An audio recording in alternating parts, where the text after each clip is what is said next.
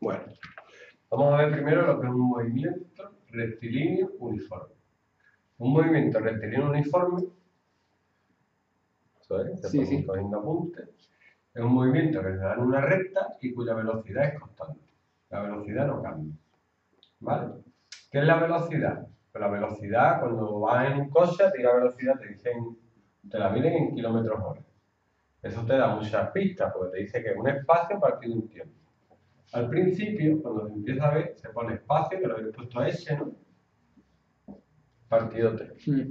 Y no. Pero conforme vas avanzando, te van a empezar a poner cosas un poquito más complicadas. Espacio menos espacio inicial, partido tiempo menos tiempo inicial. Y depende de dónde salga y depende de dónde ponga el sistema de referencia. ¿Mm? Tanto en el Sí, espacio como en el tiempo. Entonces, de aquí, despejando, sale una fórmula que tienes en el libro, que la voy a despejar para que tú veas. Esto que está dividiendo pasa aquí multiplicando. Y esto se queda aquí. Pues yo esto lo puedo escribir al revés, igualmente.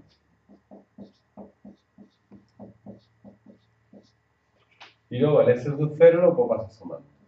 O sea que el espacio es el espacio inicial más la velocidad por el tiempo menos el tiempo inicial. Normalmente en los problemas que vas a hacer, el tiempo inicial va a ser cero. Así que podrías escribir, si el tiempo inicial es cero, ya te digo que siempre no vale, Mm. que el espacio final es el espacio inicial más la velocidad por el tiempo. Vale. Entonces, un problema típico. Vamos a empezar con una cosa muy facilita.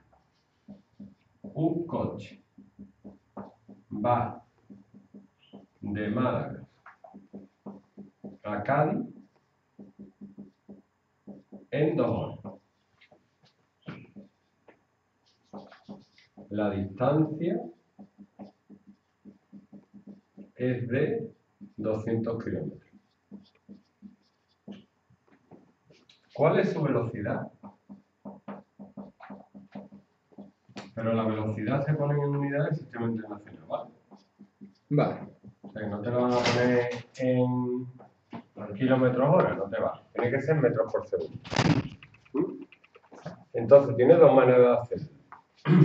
O calculas la velocidad como espacio final. Tú pones el sistema de referencia en Málaga. Y vas acá. ¿Vale? Entonces, lo lógico es poner el inicio aquí, ¿no? El espacio inicial 0, el espacio inicial, el 0 es. ¿Vale? Que ha dictado 200 kilómetros.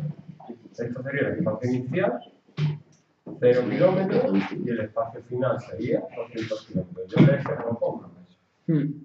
no pongo final. Ese es el final. Y ahora el tiempo inicial, pues yo pongo el reloj a cronometrar aquí. 0 horas y el tiempo final son 2 horas. Entonces yo puedo decir que mi velocidad es espacio final 200 kilómetros menos espacio inicial que salgo de Málaga partido 2 horas menos 0 horas que es cuando salgo. O sea que sería 100 kilómetros hora. Fácil, ¿no? Sí. Vale. Pero esto no te vale, ya te he dicho que lo tienes que pasar a metros por segundo. Y para eso sirven los factores de conversión. ¿Vale? Mm. Eso lo has dado. ¿Te suena o no? Sí, era en horas partido, una hora partido 360 segundos y, 3600. sí, y un kilómetro partido mil metros. Sí, pero ¿cómo te interesa ponerlo? Porque si pones un kilómetro partido mil metros, no vale.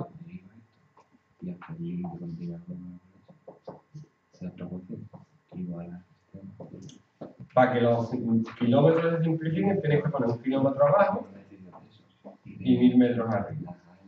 Y así los kilómetros se simplifican con los kilómetros y te quedan metros. He puesto 100 y vale. 200. No, es 100 la velocidad. 100.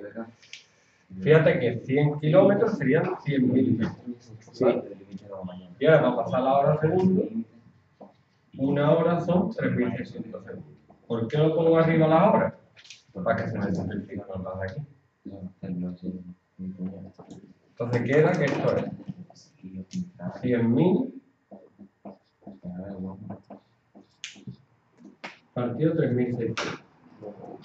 Metros partido segundo. Hay que hacer la cuenta. Te da 27,78 metros por segundo.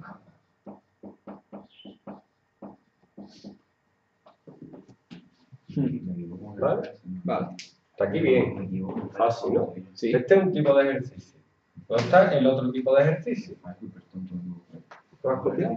Sí, sí. El otro tipo de ejercicio es este. No el otro tipo de problema. Eh, un coche va a 30 metros por segundo.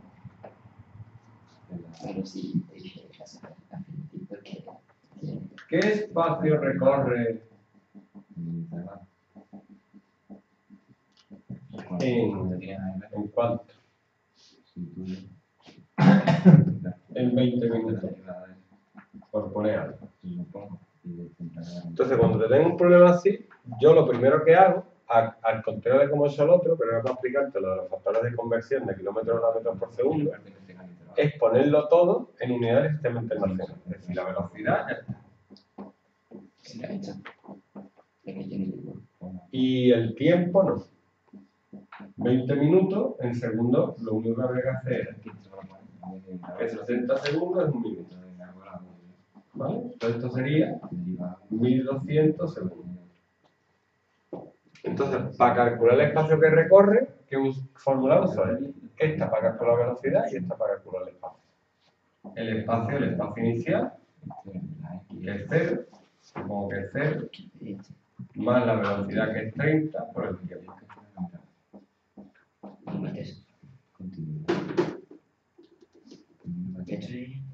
Son 36.000 metros,